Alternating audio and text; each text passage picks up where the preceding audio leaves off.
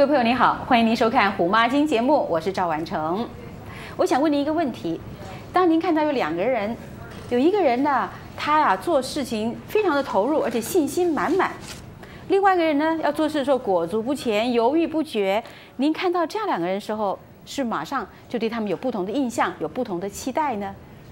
有人说信心是成功的一半，您怎么看呢？怎么样来建立孩子的自信心？这个题目呢非常的实际。今天我们在现场节目呢，请到了两位嘉宾一起来参与讨论。第一位为您介绍的是王旭，乔治梅森大学的教师。谢谢王旭再次来参加，你的教师经验可以给我们提供很多的帮助哦。好，第二位为大家介绍的是饶梅 Madeline Ross，谢谢你，Madeline，她是乔治梅森大学的中国项目部主任。好，今天谈到这个信心的问题哈，其实信心。每个人都希望自己有信心吧，是不是？就像我刚刚一开始讲的，如果没有信心的话，这个人出来感觉好像别人就不太相信他了。但是我们得探讨一下这个信心啊，到底什么是信心呢？王旭你怎么说？嗯，这来自自己生活的经验、知识、各种各样的能力，啊，还有他对外界的一种反应。他觉得外界对他接受呢，他就会有信心。然后他对前途有一定的。嗯，有有也是有信心的，就是事情会变好的，说这这这个学生孩子也会有信心。所以你的观点就是信心是从学习来的，不是从学习来，就各种各种各样的丰富的生活经验，见多识广。他就会对这世界产生一一种比较正面的印象。这孩子从总的来说，精神状态来说，就是一个有自信心呃的孩子。嗯，那你说的具体的每一件事情，那这件事情我没有学会，我就会没有自信心。这是生活当中每一步都会出现的一个阶段性的有信心没有信心。就整个从一个呃个人的一个性格来说，我是我是刚才是这样讲的，来自你。是一个综合体，综合综合产生的。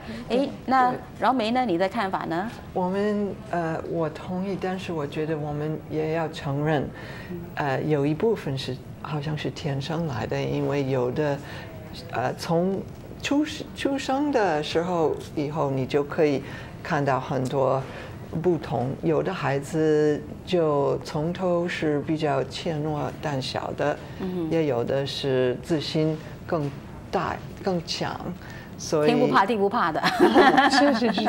按照家长的看法，我们一定要就接受我们孩子的啊里面的品质，而且就可以发展他们的闪光点，这样子做。嗯，作为父母，我们都希望自己的孩子啊是。在人的面前呢，很拿得出去的哈，面对困难知道怎么解决的，然后呢，呃，不怕挑战的哈。但这些呢，可以说也都是必须要用这个自信心还有信心来作为基础的，对不对？对，那像呃王旭，你可不可以谈谈看哈？我们作为家长，当然希望能够培养孩子怎么样有这个信心哈，有很多的办法，也许我们都可以做到。但是我们先。来到学校校园这个角落，因为你在小在美国的幼稚园、小学、中学、高中、大学，我老是喜欢听你的这个履历，因为很少有人有这么完整的美国教育的这个经验哈。你教过这么多的这个不同的阶层的这个学生哈，在当老师的经验里面，你看到这个信心，老师的部分、学校的部分要怎么样来给学生呢？呃，我我想啊，老师本身应该自己是一个教育工作者，不是一个教书匠，自己就必须有一个很好的呃教育这个。呃的那个培养啊，或者是知识，那自己也要有信心。就是我我当老师，我走到一个今年给了我一班学生，我往那儿一站，我自己就有信心，我能把每个人都了解的很好。嗯，我就嗯一个星期、两个星期，我就可以已经发现每个学生有什么样的特征，有什么闪光点，因为我自己有这样的一个呃。呃，信念吧，就是每个人都有他自己的强项和短项，没有一个人是呃完美无缺的。比如说，有的孩子对这种理论上的学习、加工符号、推理比较行，但是他在对颜颜色呀、形象啊、声音呀、动作，他就可能不行。那有的孩子正好是相反，所以你在教学的时候呢，就应该用多种这样的教学方法，把所有的这种点都。覆盖住，所以在每一个阶段你教学的时候，每一个孩子都有机会去发挥他们特长，都可以显示他们自己。那每个孩子在就会有一定的信心，他就觉得在你这个班里待着我不受气。其实你讲到一点很重要哈，我想饶梅大概也会同意，就是你刚刚其实讲到，就是说每个学生都有不一样的长处，对不对？老师不能说因为他这个功课很好，然后其他人功课不好，这个学生就不行了哈。对，你要从发现学生的这个长处里面来培养他，然后来呃来关注其他学生的弱点，让他们能够有更多的自信。其实家长不是也一样吗？我们孩子也。也没有都是一样的孩子，对不对？对。我们教养孩子的时候，我们是不是也不能够比较，让让这个孩子的自尊心被抹杀掉呢？老梅。也经常你你可以说一个呃兄弟姐妹有一个是，呃品质一样胆子大，一个胆子小，所以呃我觉得从家长的看法，你一方面你一定要给你的孩子们呃生活经验，你不可以嗯。全天都保护他们，就不让他们到外面去尝试小的成功，尝试失败。嗯，如果失败的话，你可以就啊安慰他们和说哦，跌倒了，下一次你你就不会这样，或者哦没关系，我们下一次就呃换一件那个啊衣服什么。嗯，so。一方面是给他们那个生活经验很重要，第二方面就是要用比较实践的话来表扬鼓励他们，是是，而不要用虚假的话过分的表扬什么的，因为孩子，我想孩子就可以看得出来。对对对对，你你你同意吗？我当然同意了。也是有时候学生，我我这个人是比较呃持有。比较传统的教学的那个还是比较传，就是孩子应该做了他应该做的事儿，你不必要就说，哇，这么这么好啊，那么好，那以后再说的，哎，我就完成到这儿就可以了，我没有在更高的目标去追求他们了。但是现在很多家长他们担心是说，如果他们对小孩太严格的话，会伤害小孩的自尊心，让他们没有自信心，所以常常的夸奖啊，表扬小孩呢。我不是说呃嗯那个呃呃。给他们嗯很高的要求，你可以跟他说，他必须，比如说他还还要需要努力，你不要老用那个像中文，你不要老用这个别这个词，你别做这个，你要你不要这样，不要不要这样，老不要说这个事，你老是说。嗯，给他另一个方向，就像我们指出那个纪律那方面一样。你老是说，比如说他差一点，他努力还不够，你说你要不要再做点这个，换一换这个，换一换那个，他可以，他可以，呃呃，循着你的那个方向，可以一点一点做。你不是说你不能把现在就不念书了，你你你要你你要怎么怎么样？不要把那个词老说了，就是一直给他指出方向，不要打击他的这个积极性，嗯。而我们对孩子，呃，老师和家长都要有比较，嗯，比较适当的期望，呃，期望值。所以有的孩子，你给他们比较难的、高的要求；有的孩子要调整你的那个期期望者。也就是说，还是要看孩子的那个素质哈，跟他的能力，你做到怎么样恰如其分的给他，同时再更多点激发他的这个动力啊，是不是？对，刚刚呃，刚刚其实王王旭跟那个饶梅都讲到一点，我觉得非常有趣，就是说你不要跟小孩讲说你不要这样，不要那样哈，因为你常会抹杀他的一个性质，对不对？我记得我看过一篇文章。有位女士，她现在已经成年了，她她的跟她妈妈的关系非常不好。她在报纸上写了一篇文章，就说妈妈不要给我泼冷水。嗯，她里面讲到很多的例子，比方说，她在读书的时候，她考了全班第二名，回家了，应该很好了，对不对？第二名了，她妈妈一看就说。怎么会不是第一名？对，妈妈应该说什么呢？哎，下次咱们拿第二、第一名怎么样？这样的话，一个一个观点，但是孩子感觉好得多，完全不一样的感觉了。对，结果呢，这个女孩非常努力的，真的变成第一名了。回去给妈妈看，你看我第一名了。她妈妈说：“你本来就该第一名的。”所以她的努力并没有得到赞许，对不对？反正就是说，你本来就应该这样做的。然后他要结婚的时候去试那个结婚礼服，照理说女儿要出嫁了，妈妈应该是非常非常的开心啊，孩子小女儿真的要那个呃翅膀长大要要嫁了，那是最最感动人动人的的的时刻，对不对？如果你带你女儿去试婚纱的话，哦，就她穿上婚纱出来，她妈妈左看右看，就是说，哼，你只有这条小腿长得还可以，所以这女儿就非常非常难过。所以很多的事情就是说，从大人给孩子这个。泼冷水哈，或者是嗯不鼓励他们，或者从一个比较负面的方向来讲的话，让孩子自尊心都没有，而且甚至影响到了亲子关系。但是这这个妈妈的态度可可以看得出来，可能是妈妈的一个自信的问题。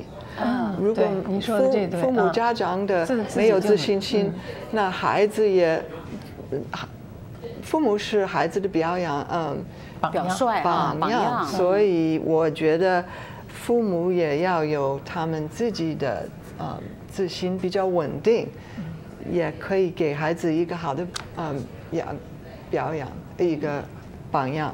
嗯是，那讲到了这个自信心哈，有些孩子刚刚饶美讲，可能他天生就就是比较有自信心的哈。那王旭你也讲过，很多孩子就是有不同的素质嘛，对不对？那我采访了一位男士，他在呃当销售主任呢、那他当然面对很多客人侃侃而谈，一副很有信心的样子。我就说，哦，你的信心哪来的呀？他是这样回答我的。uh, the education and schooling. I never really was uh, shall we say, bright. 上学的 uh, 时候，我并不是个聪明的学生，So, uh, 因此受教育的过程中把我的信心给 uh, 压碎了不过没关系只要不断努力 uh,，就能克服困难产生信心。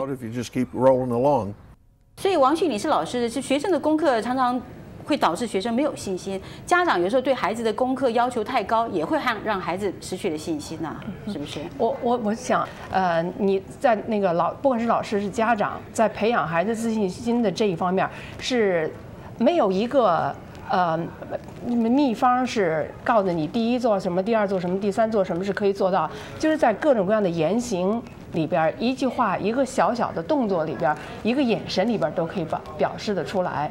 所以呢，嗯，就是家长自己有这种嗯有这种信念，本身是一个教育工作者，呃，你就可以在这方面呢能够做的比较呃呃。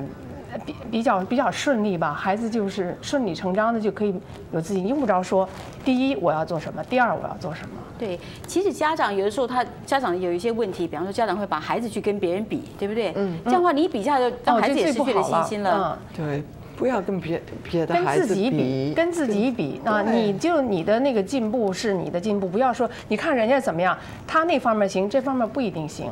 有时候你像孩子让他再努力吧，力吧，你不要让他跳特别大的步骤，你让他就说，哎，你就差一点点儿，你再有一个就行了，哎，他就会一点一点的给你就做起来。慢慢努力上去啊！对嗯。对，我去年呃去参加一个演讲，有一个呃心理学家来说，怎么样可以帮助孩子就嗯发展他们的自身自信。他说最重要的一部分是韧性，韧性这个品质。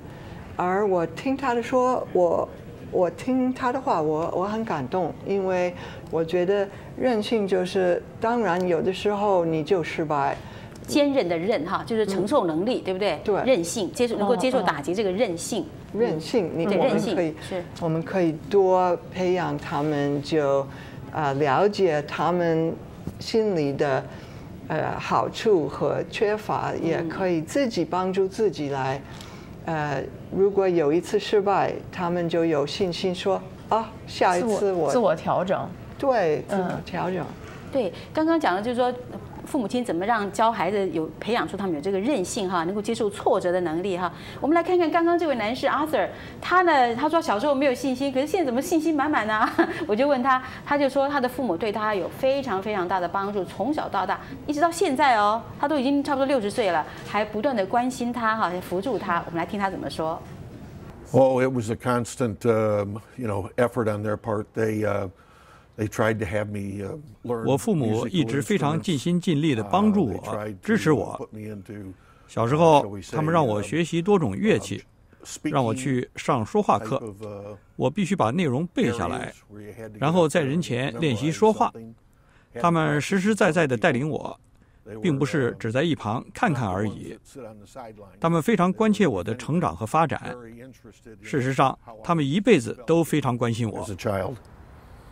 Matter of fact, they kept their interest in me all the way through their lives. 刚才这位男士他谈到他的父母亲怎么样帮助他，在他小时候慢慢让他建立起信心。那当中这个话里面讲到很多，就是他父母亲花了很多时间哈，来带他去参加很多活动。当时我就问他说：“这个活动，万一你妈妈叫你去学音乐，你根本拉不好，你不是更紧张、自信反而更更损毁吗？” 他说：“不是的，有那么多的机会，你会慢慢发现自己，是不是？”王旭，你怎么看？我我也觉得是那个做家长，我自己本身也是家长，要给孩子呃创造更多的机会，带他们出去玩儿。去呃去锻炼身体，去哪怕去吃，去去访访友，总而言之，让他的经验特别的多。所以这样的话呢，他脑子里边就有东西，他也有经验，然后跟他的朋友在一起，他有的可说。所以呢，他讲故事的时候，别人看着，他就觉得自己。这呃很很很受人尊重了，嗯，是吧？如果这个孩子一天到晚被关在家里边，什么也也外边外边的东西都不知道，只知道一天三顿饭，他到他朋友圈子里边去，他拿什么东西去，就跟人家去去分享去啊？他也就没有了。所以要培养孩子自信心，家长肯定是要付出一一大很多心思心思的，对，陪他一起成长。嗯，还有一点就是父母是最了解他们的孩子，所以你可以看你孩子有什么。潜能呢？如果他们非常喜欢画画的话，那你可能要用他们的业余时间让他们嗯多画画，不要说你一定要弹钢琴弹得非常好。那么如果他们比较喜欢音乐的话，那你就给他们机会，就嗯多跟音乐有。呃，接触对，都参加一些活动啦。我挺喜欢这个这个你说这个阿 Sir 这个经验的啊。嗯，他就是踹很多东西啊，嗯，踹就是试很多东西，最后找到自己喜欢的。是，是是。他其实跟我讲到，就是说他其实他到了这么大年纪了，他其实有的时候他虽然有有信心，但他有的时候也是会有犹豫彷徨的时候啊。嗯但他说，呃，遇到那种状况，他说我还是不断要告诉我自己，我还是要站出来，我还是要克服我我这样子。